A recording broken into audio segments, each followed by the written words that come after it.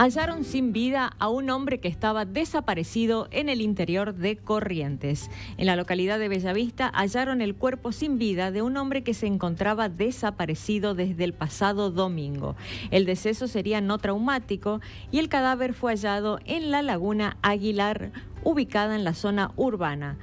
el hombre también fue identificado estaba siendo totalmente buscado como Carlos Alberto Aguirre de 43 años de edad. El deceso se habría producido por causas no traumáticas. No obstante, el cuerpo será sometido a la correspondiente autopsia médico-legal al fin de determinar fehacientemente las causas del deceso.